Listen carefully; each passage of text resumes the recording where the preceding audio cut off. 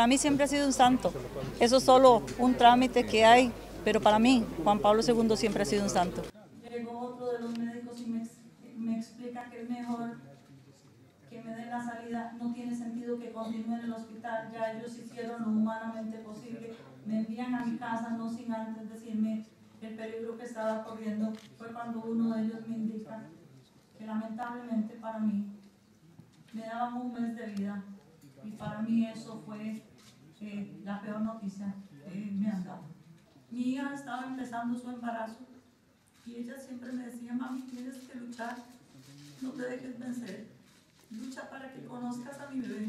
El primero de mayo del año 2011, después de que yo vi la gratificación de Juan Pablo II en transmisión, eran las 2 de la mañana en Costa Rica, me volví a quedar dormida. A las 8 de la mañana de ese día fue un despertar diferente. Fue cuando escuché la voz en mi, en mi dormitorio que me decía, levántate.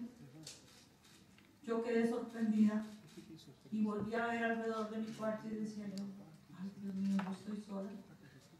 Y escuché esa voz que me decía, levántate. Y vuelve a repetirme, levántate, no tengas miedo pero inmediatamente mis ojos se fijaron sobre una revista que tenía sobre el televisor que salió para conmemoración de la beatificación de Juan Pablo.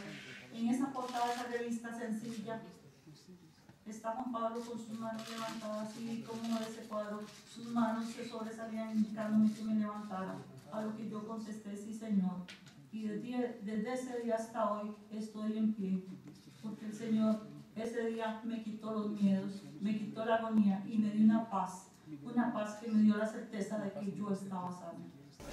Desde el mismo momento que escuché la voz, le aseguro que me di cuenta de que había un milagro en mi persona.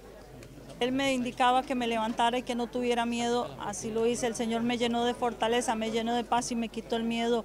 Y aquí estoy creyendo firmemente en lo que me sucedió.